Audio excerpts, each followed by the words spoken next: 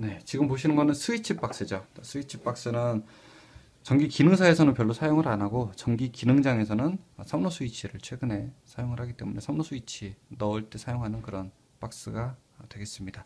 이 스위치 박스는 이것도 구멍이 하나, 둘, 셋, 넷, 네 개가 있는데 일반적으로는 뭐 양옆에 사용하는 경우는 별로 없고요. 위 아래 사용하는 경우가 많이 있죠.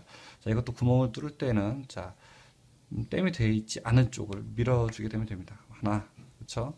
둘, 셋, 넷, 다섯, 네.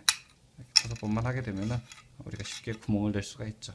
혹은 공구를 사용하고 싶다라고 하시는 분들은 자 여기서 때려주면 됩니다. 네. 자 그럼 어떻게 됩니까? 한쪽이 제껴 나오죠. 자 이때 벤치를 들고 흔들어주면은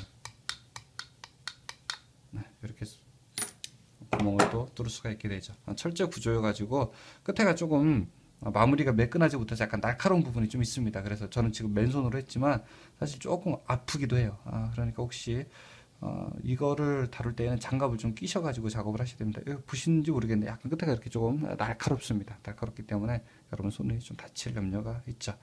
저도 손이 좀 약간 험하게 많이 써가지고 손이 뭐 굳은 살도 좀 많이 있는데 어, 그런 분들은 뭐 사실 관계가 없고요. 예. 예, 두 개로 조여주면 되겠죠.